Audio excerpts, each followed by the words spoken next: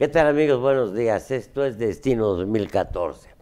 Bueno, esta mañana eh, tenemos eh, de acompañantes a Rodolfo Rivera Pacheco, reconocidísimo encuestador.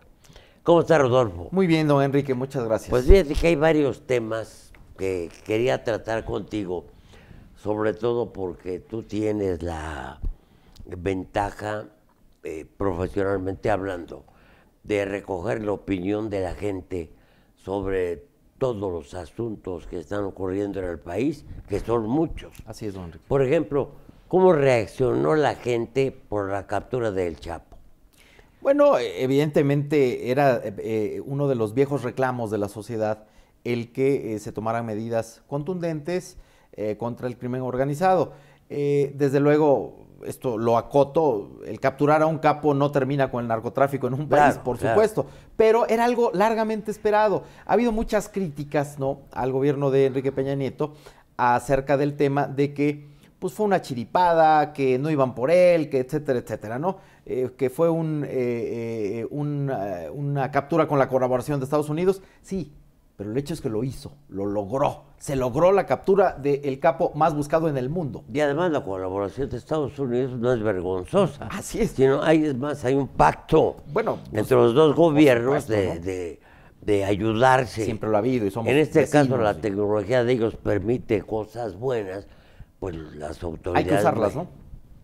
Lo que me llamó la atención es la actuación de la Marina bueno, sigue, sigue siendo uno de los sectores del de, eh, ámbito eh, de la defensa nacional en el país más prestigiados, ¿no? O sea, las capturas de los capos más importantes no las ha llevado a cabo ni la Policía Federal, ni la PGR, ni el Ejército, las ha llevado a cabo la Marina, la Armada de México, eh, lo cual nos indica que pues tiene un gran prestigio, que hay mucha eh, habilidad, mucha inteligencia entre sus dirigentes y, desde Sobre luego, honestidad, ¿no? Hay, hay, honestidad, es evidente que la Marina ha hecho los, los las grandes capturas, habrán estado a punto de capturar al Chapo y un pitazo, como se dice. Correcto. De gente comprada por el Chapo, pues le dio tiempo de fugarse. Así es. En este caso, lo que esto confirma que todos los que tomaron parte en esta operación, eh, pues son gente preparada y además honesta. Así es.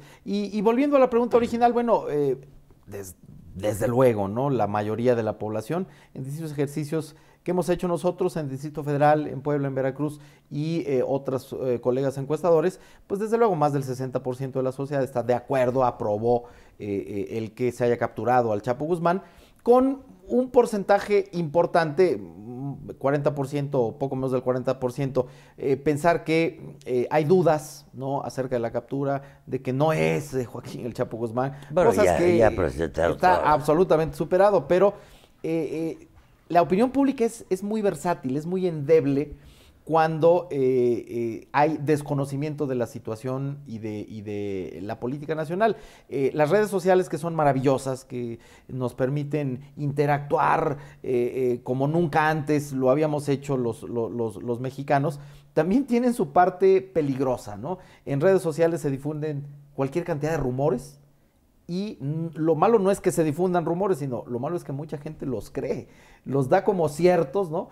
Tú puedes poner un tweet en Twitter eh, diciendo una falsedad y va a haber a algunos de tus seguidores que le den retweet y entonces empiezas a hacer eh, un, rumor, un estado de opinión basado en una falsedad y este, eso es lo que pues sí tendríamos que cuidar mucho, ¿no? Yo lo recomiendo mucho a mis alumnos, cuidado, entérense bien, las redes sociales no son para enterarse de la realidad, son para interactuar, son para eh, efectivamente estar enterado de lo que dicen los políticos o los, los periodistas, pero cuidado con los rumores, se ha, hecho mucho daño, sobre todo en Facebook, ¿no? En Facebook hay mucho desconocimiento, mucha ignorancia, quizás no culpable, pero ignorancia al fin de la gente. Ahora, yo siento también, este, Rodolfo, que eh, la gente está desconfiada es decir, tantas veces le engañaron Que, que perdió confianza.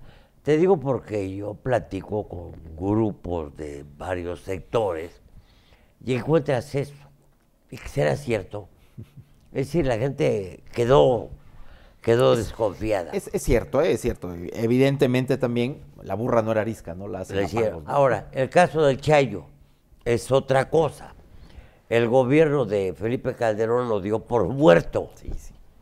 Y resulta que estaba vivito y coleando y lo captura otra vez este gobierno. Así es. ¿Qué opina la gente de eso? Bueno, también de acuerdo en, sobre todo en Michoacán, en la captura de unos, uno de los líderes de las bandas eh, quizás más sanguinarias que hay en el país y específicamente en Michoacán. Desde luego, eh, entre la gente lo que permea es que cómo es posible que antes se haya dado eh, una, un acontecimiento, por cierto, incluso eh, expresado por el propio presidente de la República en ese momento, que era Felipe Calderón, como cierta la muerte de este, de este sujeto, del famoso Chayo, de Nazario Moreno, y eh, pues hoy nos enteramos de que no es así. Esto le pega fundamentalmente ¿no? a, los gobiernos panistas, le pega al Partido Acción Nacional. Eh, yo percibo en varios lugares donde estamos levantando opinión pública partidista o preguntas con respecto a preferencias partidistas, que el PAN empieza a tener una ola pequeña todavía, pero descendente.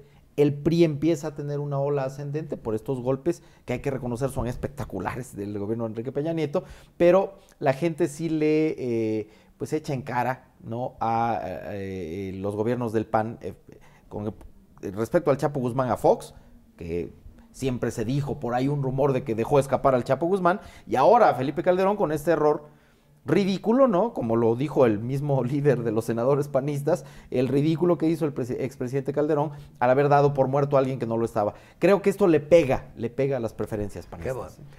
Regresamos con más preguntas. Nos vas a quitar muchas dudas. Gracias.